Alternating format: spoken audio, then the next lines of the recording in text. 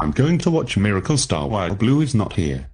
One hour later. That was a great show. Oh no. It's Blue. Nigel. How dare you watch Miracle Star? You know that show is a ripoff to the amazing world of Gumball. That's it. You are grounded forever. Go to your room now.